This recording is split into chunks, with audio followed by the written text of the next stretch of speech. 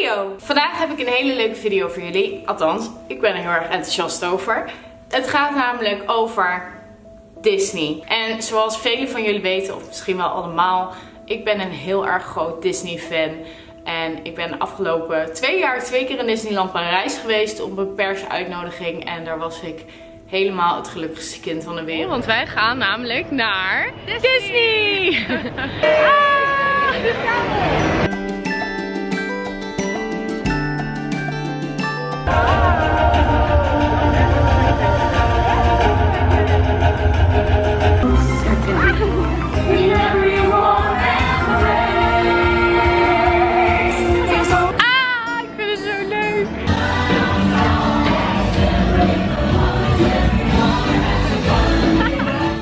Gewoon gek op Disney. Ik vind Disney gewoon leuk omdat, ja, ik weet niet. Ik kan het denk ik niet echt beschrijven. Ik vind het gewoon hele mooie films. Elke Disney film heeft een onderliggende boodschap. De liedjes zijn prachtig. Echt bizar mooie muziek wat wordt gebruikt voor Disney.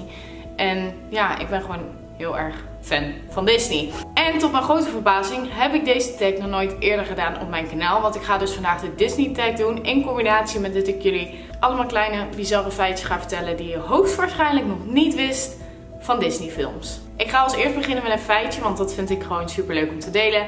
En hier kwam ik toevallig van de week achter. En toen dacht ik, hè? Maar in de film Belle en het Beest heet het beest niet het beest. Maar hij heet eigenlijk Prins Adam. Maar dat wordt in de film nooit gezegd. Wat is je favoriete Disney film? Nou, daar hoef ik niet over na te denken. Want mijn favoriete Disney film is by far The Lion King. Ik vind dat zo'n mooie film. En ik vind het super gaaf dat deze weer uh, opnieuw wordt gemaakt met... Ja, hoe heet dat nou? Net zoals Belle en Beast nu op dit moment. Dat er echte mensen in spelen. En ook uh, The Lion King wordt op die manier straks op, in de bioscopen gedraaid. En dat zal eind 2018 zijn. En daar ben ik heel, heel erg nieuwsgierig naar.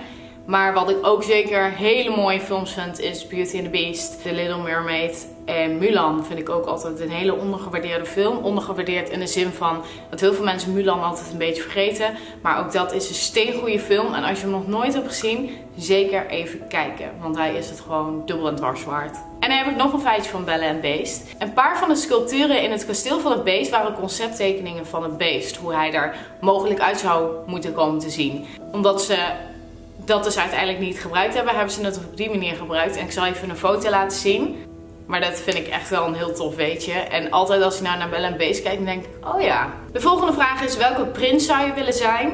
Um, als ik een prins zou moeten zijn, dan zou ik denk ik Simba zijn. Omdat Simba gewoon super eigenwijs is. En ondanks dat zijn ouders heel erg waarschuwen dat hij dingen niet moet doen, het toch gaat doen. Zelf op zijn bek gaat, maar uiteindelijk wel enorm sterk en krachtig terugkomt tot de persoon die hij geworden is. Of tot de leeuw die hij geworden is. En ja, ik zou zeker weten Simba willen zijn. Een leuk feitje over de kleine zeemermin is dat Donald Duck, Kermit de Kikker en Mickey Mouse aanwezig waren op het grote feest van Triton. En dat kun je ook hier zien. Super grappig, is mij nog nooit eerder opgevallen. En zo blijkt het dus dat er wel vaker Disney figuren ineens opduiken in andere films. Zo hoorde ik ook dat um, volgens mij Rapunzel en nog een ander meisje ook weer te zien zijn in Frozen. De volgende vraag is, welke prinses zou je graag willen zijn? Ik denk dat ik van prinses toch wel het liefste Belle zou willen zijn van Belle en Beest. Omdat ik Belle echt een bloedmooie meid vind. En dat ik haar qua karakter sympathiek vind en heel erg uh, verzorgend en behulpzaam. En ik heb Belle gewoon heel hoog zitten en ik zou wel heel graag Belle willen zijn. Oh ja, dit vind ik ook een heel leuk feitje. Toen Disney de film Belle en het Beest maakte, hadden ze dus niet voldoende tijd. En toen besloten ze de einddans van Belle en het Beest zelf niet meer te bedenken, maar die regelrecht te kopiëren van Doornroosje. Als je dus goed oplet, op het moment dat Belle met het prins danst, is exact hetzelfde als dat Doornroosje met haar prins danst. Echt bizar dat je exact dezelfde dans kan kopiëren, maar het is uiteindelijk niemand opgevallen. Of in ieder geval mij niet. Op welke karakter lijk ik het meest? Ik zeg heel vaak dat ik denk ik het meest lijk op Belle, omdat Belle best wel eigenwijs is. Maar nu liep ik net door de kamer en toen dacht ik, ja, maar eigenlijk heeft Ariel van de Kleine Zeemermin daar ook wel een handje van. Dus ik denk dat ik een beetje een mengelmoes ben van die twee prinsessen. Dat ik dus een beetje Ariel ben en een beetje Belle van Belle en Beest. En dat dat er weer creëert tot wie ik nu ben. Ja, met die twee meiden kom ik denk ik het meest overeen. En dit vind ik ook echt een super grappig feitje. Dit heeft mijn broer mij een keer verteld. Ehm, ik weet niet precies in welk jaar het al. Maar ze waren in ieder geval bezig met twee grote films. In de ene film hebben ze gigantisch veel geld gestoken. Omdat dat de film moest worden. En ze maakten daarnaast nog een andere film die ook uitkwam. Ze hadden echt een focus gelegd op film A. En dit is dan film B. Hebben ze in film A echt de eerste rangs medewerkers die hielpen aan de film A. En de tweede rangs medewerkers mochten wel meewerken aan film B. En film A was Pocahontas. En film B was The Lion King. Maar The Lion King heeft uiteindelijk veel meer opgeleverd. Het was een veel groter succes als Pocahontas. Niet dat Pocahontas dat niet is geweest. Maar ik vond het wel een heel grappig feitje. Mijn broer die vertelde dat een keer.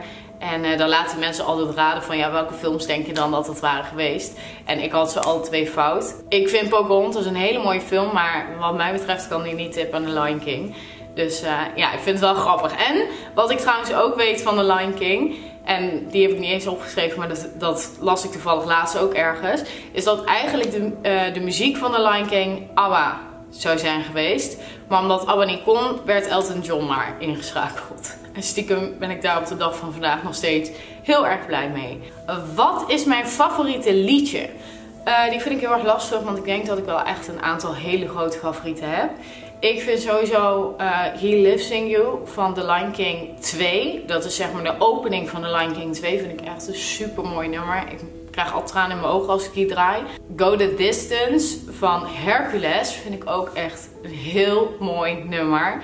En ja, dat zijn denk ik wel mijn twee grootste favorieten. I Make a Man Out of You van Mulan vind ik ook weer echt een heerlijk nummer om mee te zingen. Maar qua Kippenvel zijn die twee eerdere nummers zijn echt mijn favorieten. Meer dan 50 kinderen belanden in het ziekenhuis omdat ze na het zien van de prinses en de kikker allemaal een kikker hadden gekust. Zo zie je maar eigenlijk dat alles wat je eigenlijk laat zien, dat dat vrij snel wordt nagedaan. Dus dat dat altijd een risicodingetje is.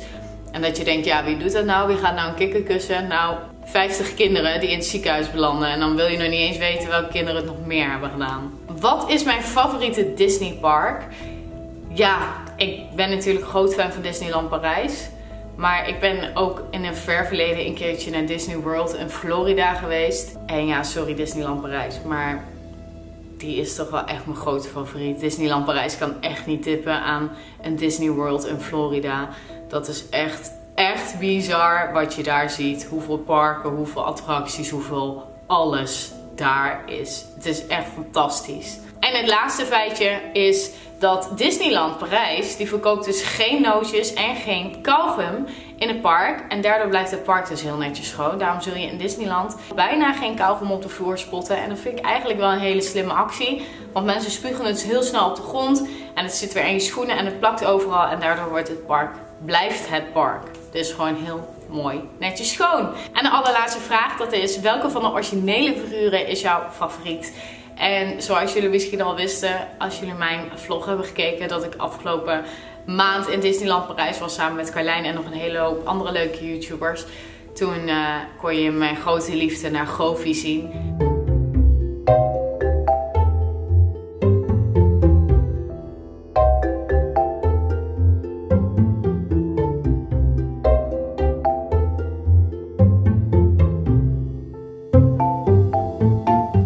Originele figuren is Goofy mijn grote, grote favoriet.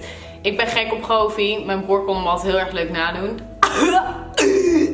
ik kan het. Ik daarentegen wat minder. Pip die schrikt wakker uit de slaap nu.